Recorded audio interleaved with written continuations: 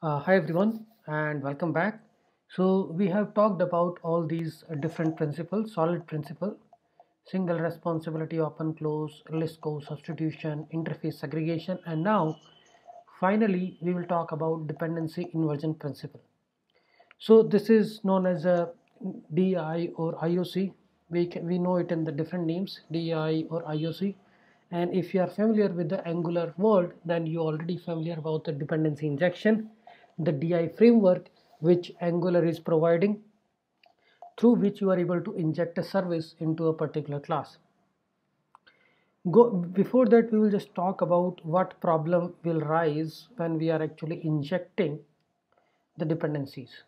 So in this code uh, what we are doing is we have here this is a child subclass and here in the constructor we are injecting a dependency we are actually providing the requester object so that we can access this requester in the respective methods.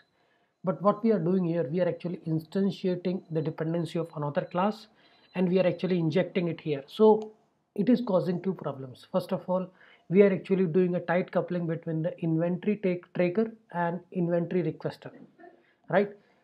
The di framework uh, or this dependency inversion what it is trying to solve is the loose coupling it is trying to create abstraction between both these entities. In our case the entities are inventory tracker and inventory requester. These both these entities will try to have a loose coupling.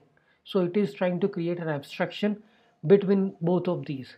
So what we are trying to what we are going to achieve with IOC or this DI framework or dependency inversion is the loose coupling between different entities. From different definitions you will understand what it is so sometimes high level modules should not depend upon the low level modules, but both of these should depend on a common abstraction. If you want to understand it really how it works, then you should look into Inversify. Inversify JS is a library which is available for Node.js. It will actually create this DI framework. If you're not familiar with Angular and all these things, you can actually look into the Inversify. It actually creates the abstraction for high level modules and low level modules. And that abstraction gives you what you need if you want to get an access of a particular object that the container or that abstraction will give you. Okay coming to more definitions like uh, how it works then we can just go into the details and we'll try to understand it. So what we what we can do is we'll try to understand the dependency injection or inversion of control it is known with the with the different names. What it is doing is the real intent behind dependency inversion is to decouple objects to extent that no client code has to has to be changed when one is getting changed. So it's like we are achieving the loosely coupled components. And those components can depend on the third party dependency container. So i mean uh, we are talking about this high level abstraction between the between both these entities that is nothing but a dependency inversion container. Okay. Inversified js also creates it. If you talk about uh, your own custom code that also there also you will also create some kind of a container. From that we will actually access uh, we from that we will get the dependency. So currently like in this code we are actually getting the dependency in the constructor. That is not the right approach.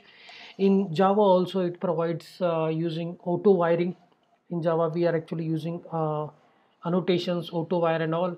In angular what we are doing is we are doing constructor injection of these services. There is a, some service what you will do is you actually inject it in the service. You don't need to write new keyword to get the access of those particular class. Okay?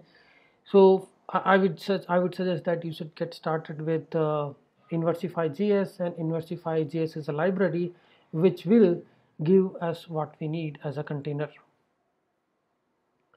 Okay so this is all we have.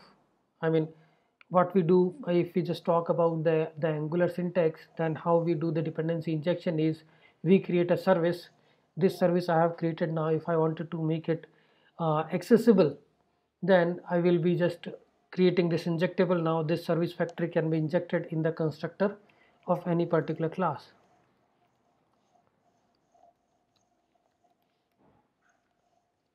so if I just talk about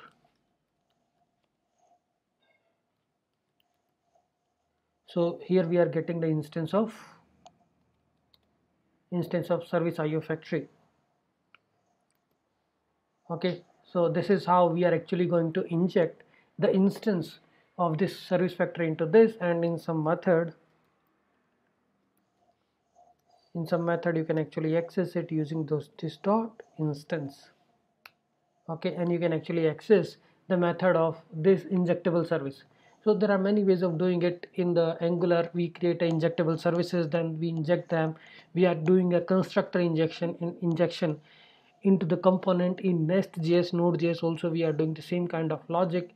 Or if we are if you are doing if you are using Inversify.js, Inversify.js is a library which actually creates a container. There we will actually create a high level abstraction. These containers will be singleton container and from that container we will actually get the access to a particular service in a particular component. So from like this is a container, right? If I wanted to access any particular class, then th these containers will be available there. If from this provider I can actually access a particular service we just need to uh, create this additional container using Inversify okay that's all guys uh, thanks everyone